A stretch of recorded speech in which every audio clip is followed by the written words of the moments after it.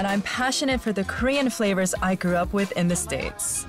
In this series, I'm traveling back An to easy South scallop and spring onion pancake, perfect for sharing.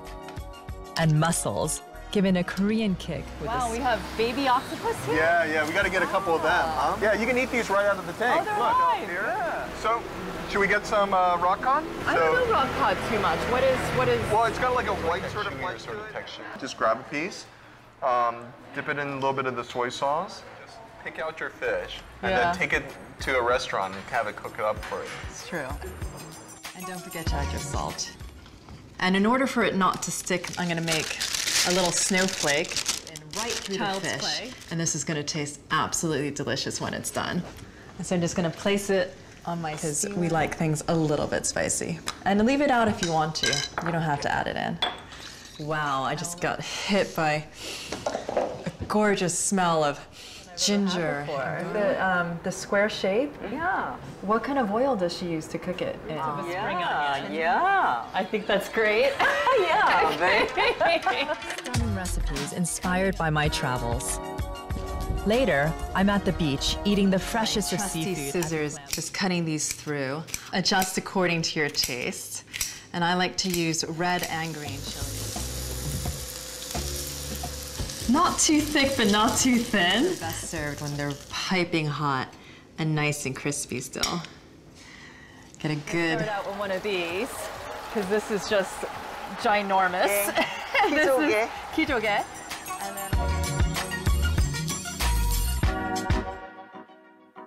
Amazing.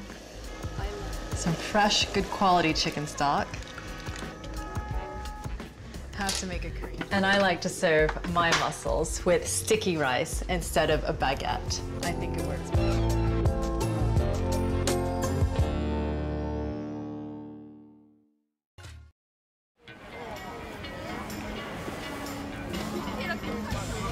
American chef and food writer, now living and working in London. And I'm passionate for the Korean flavors I grew up with in the My States. My dad's favorite ice noodles, naengmyeon, and the ultimate sweet summer treat, creamy red bean popsicles. markets in Seoul. So as you know, Korean people love to take care of their health, and um, we also use. a So lot the of- fresh ones, the harder they are, the, the better quality. And yeah, and also straight Usual body. and- version.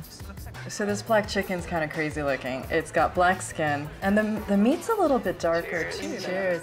건강을 위해. Blood oh, circulating and get their mental activity going. Wow, I can smell that already. I'm also going to use dried ginseng. And this interesting ingredient is called a jujube. These are Asian dates. You can find these in any. And because there isn't a lot of rice in those guys, I'm going to put a little bit of extra black sesame seeds, chili threads, pea shoots. Finishing touch Like of how the just purists do it, right? Mm. I mean, how do you rate this? I remember my mom doing yeah, two that. Times. Yeah. And my grandma always says the secret to making the recipe of uh, ear cheer, which means fight heat with heat. So in the in the middle that of summer. That might sound strange, but this whole dish is about balance. There's savoriness, there's sweetness. With that, Salt. the people aren't struggling to eat them. I like to make a special topping on top of my very cold beef stock Traditional treat from my childhood, which is just as popular now. 안녕하세요. Yeah. Popping Serious soup, as inspiration to make my own version of an ice lolly using red bean, which I know everybody's going to love. These red bean ice lollies, really savory, sweet, and delicious. Stuffed with red bean. They're chewy, toothsome, stretchy, kind of fun to eat. I love Korean fried chicken.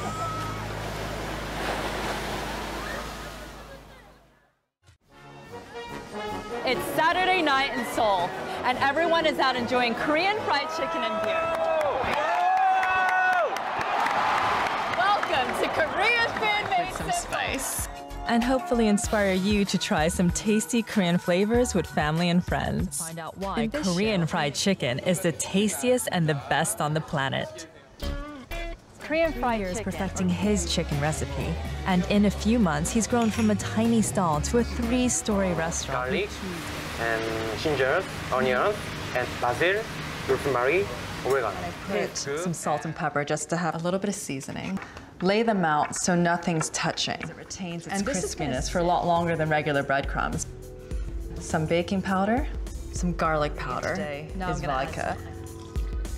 And vodka is a little trick that I learned from working in kitchens. Thermometer. Just so you can keep track of your temperature as well. And you do have to be careful when you're cooking with hot oil. Ketchup. It's almost like an Asian style Which barbecue. is, you know, any kind of fermented bean paste, uh, soybean paste. It adds So it adds a almost like a yogurt-like texture Yeah. to it, very soft, and it, it helps. I love the ginger one. Different types of flavors and a different level of saltiness. Garlic, a couple of cloves. I'm gonna use gochujang, catch the seeds.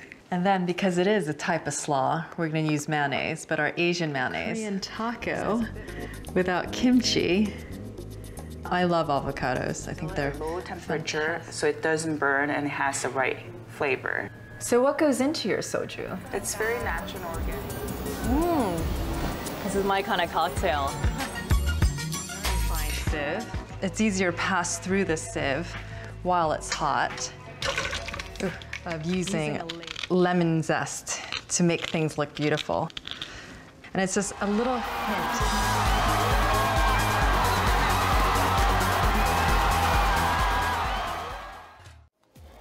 This is Gwangjang, one of Seoul's largest and most popular markets. And I'm passionate for the Korean flavors I grew up with in the States.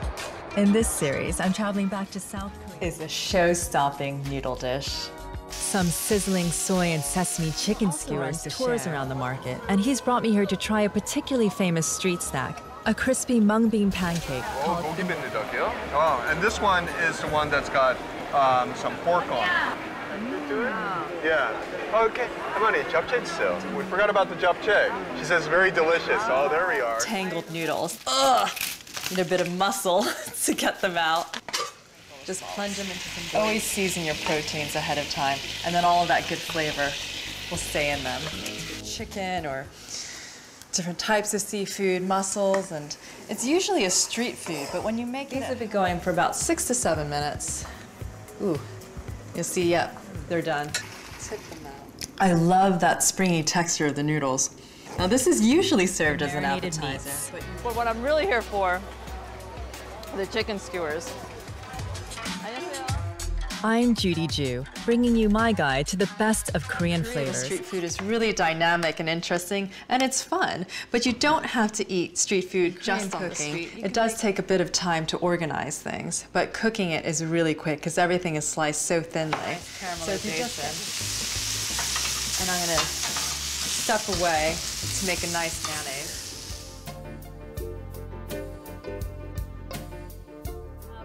Favorite. There's one left. And it's a taste that Koreans get homesick for. I'm here with Mrs. Kim, who's making her special dough, which is a unique.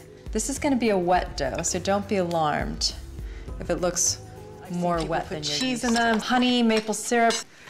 The flour is gonna start flying around, so I gotta put an apron on. That's because of the perfect combination of the different three flours that I used. Okay, I'm impressed.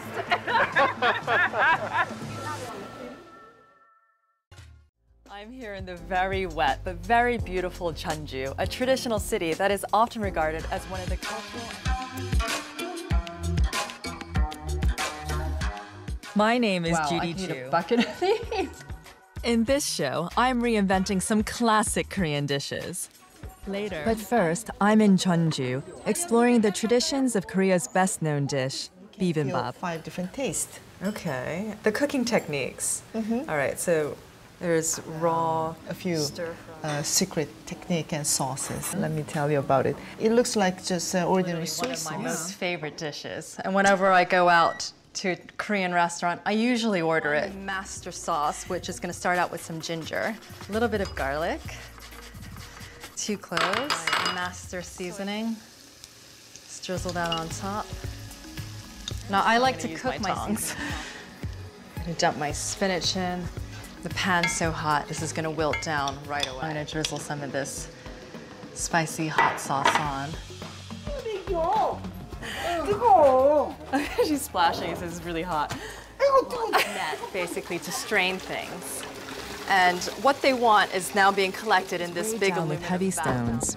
And within half an hour, the whey drains off and the tofu sets box, and that's because it's really, really soft. It doesn't hold its shape on its own. What you can see about it, though, is that there really is. I'm going to start that with a little bit of gochujang.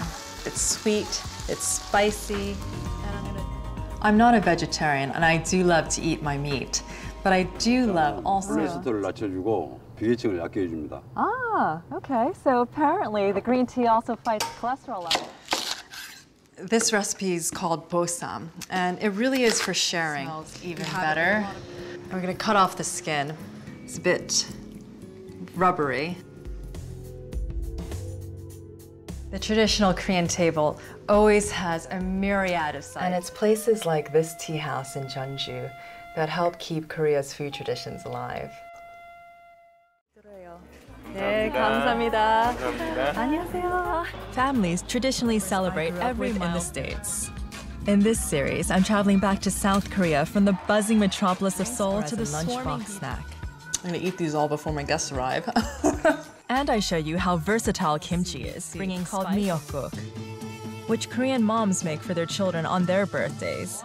A tradition that they pass on. right? We are a modern family, but I've also noticed that there's so many traditions in Korea. One of the things that I, I've actually, and you're going to teach your children all of these uh, traditions.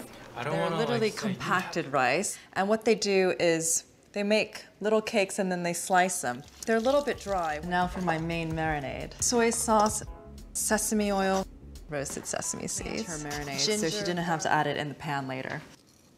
And then I'm gonna add my sweetened beef. As quickly Shake as possible, because they're, they're hurting me, making me cry. Again, you don't want a brown. Black ones and some white ones. Whether it's your birthday or not. Wow, okay, so that's about $300. So you must make them the best doshirak. I hope so. Yeah. if you have time. Coming up. My simple lunchbox recipe for bite-sized crab stick fritters and I get tips from the expert. And this is a variation of another really popular Korean dish called chun, oh, which is easier. These are done in no time. They really only take about a minute on each side. In Korea, the family kimchi recipe is passed on from generation to generation, much like in Garlic. Now we have to cut some vegetables up, right? So let's start chopping.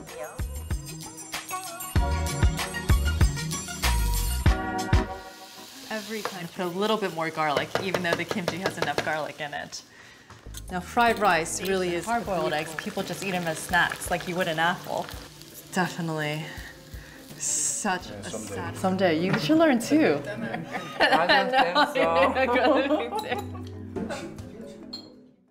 Korean city commuters are officially some of the hardest working people on the planet, leaving them very little time to I'm a Korean American chef and food writer, now living and working in London And I'm passionate for the Korean Wow, I flavors. can eat that a bucket of these.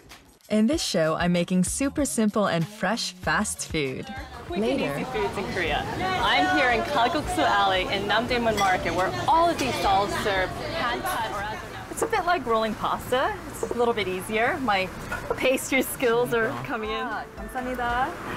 And ooh, really, really, really hot. Egg to slurp. This great mystery freeze-dried vegetable pack which has, and then I've got doenjang, which is Korean miso paste, but it's a lot stronger, it's more fermented. You stick them in, and you turn up the heat so they start cooking. Oh, what I love They always have instant noodles on hand, so if you can always ask the stewardess for some instant noodles. My instant ramen noodles.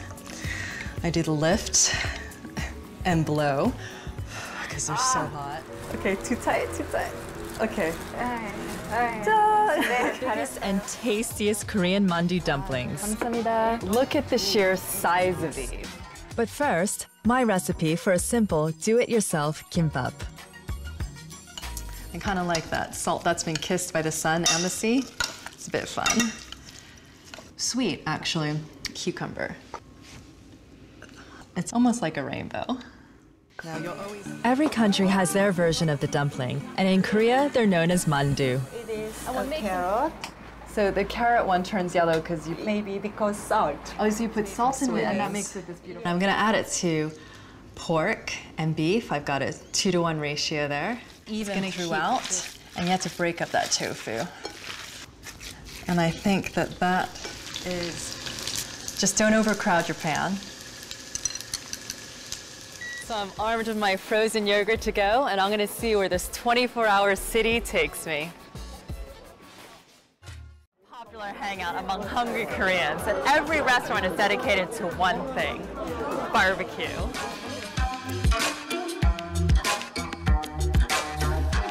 Later on, I show you my secret to the ultimate Korean-style barbecue chicken. Barbecue restaurant. These are true temples of carnivorous dining, and I've met up with three members of the popular K-pop boy band U-Kiss. At U-Kiss, uh, U-Kiss chef. Did? Yeah. Uh, So we you all, guys all cook? we all cook. All right, well, you guys tell me what you think Okay. of my of the way I make samgyeopsal. Especially coming from a chef. Put it in. and sweet potatoes, which is a natural side for chicken. And in Korea, we eat these all the time as snack. Kind of an American fusion type recipe. I'm gonna use maple syrup. I love that. Right in there. And that's gonna cut that sweetness. It's best to use boneless. Whenever I think of barbecue chicken being American, I think of corn. Ugh. Okay. I'm just gonna smear that all over on top.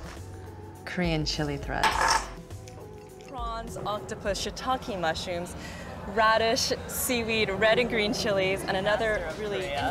Coming up, I show you how to make Korean side dishes, a crunchy cucumber kimchi. And later, I roll up my sleeves with a butcher who uses the finest and most expensive Korean beef. Perfect. And thin strands to make a great pickled radish side dish. And pickling dried shrimps, um, shrimp paste. Korea's no different, and we use salted shrimp. Try this. I'm gonna put a good amount. This will have all of the great fermented flavors going on inside. has recommended the perfect dish for a meat lover like my dad. Kalbi. Kalbi, yeah. Famous dish. And they really are masters of beef. So I'm going to start out with a nice piece of ribeye, and you want to slice that some salt, Korean sea salt. Soy sauce never replaces salt. Adds a little bit of a different flavor. This really is the ubiquitous sauce that I love throwing on top of everything, from pizza. on standing still. Oh, That's good. Don't need an excuse to celebrate food, but when one does come up, they certainly go to town. This truly is a country that is obsessed with food. Welcome to Korean food made one simple. national treasure, kimchi, to create a traditional stew. I show you my recipe for a rich, hearty food is kalbi. absolutely everywhere, and there's one word on everyone's lips. Kimchi! But your burrito, how, how did you kimchi-fy your burrito? There's a kimchi aioli and also kimchi. and now I just have to find a place to sit and dig in. You just buy it like that. You can see it's about half a centimeter thick, and it's like fresh bacon, a lot more sour, and it tastes sour, and it has a bit of a brownish color, and it turns almost opaque. But I am gonna add one other extra kick. It's a little bit of gochujang, which is our fermented chili paste, and then add some tofu. Now, tofu comes in many different varieties. This is firm tofu. Pickled seaweed, cucumber, and carrot salad, some steamed rice, and of course my kimchi jjigae. dish. It's called samdae gomtang, and it literally means three generations, and it's been around for over a hundred years. And I visit a Buddhist temple to try some exquisite vegetarian dishes. I feel like I've just sat First, down. here's my recipe for a surefire family favorite dish. And go the onions and ginger. Some good flavor with the ginger. So they'll stand up better in stews like this. And I'm gonna add these small little chantenay carrots. Don't forget about the toppings. A little bit of fresh enoki mushrooms. Our julienne So shredded. which one is the the big attraction to you? Me? I would have to say this for every vegetarian soup. I'm gonna cut a piece. And this is the source of umami. Oh, that's gorgeous. And this stock has taken on a really great golden color after a bit of creaminess. Is to add a couple of raw eggs Which I'm going to mix grandest through. of festivals to something as sacred as a religious ceremony, and food is always involved.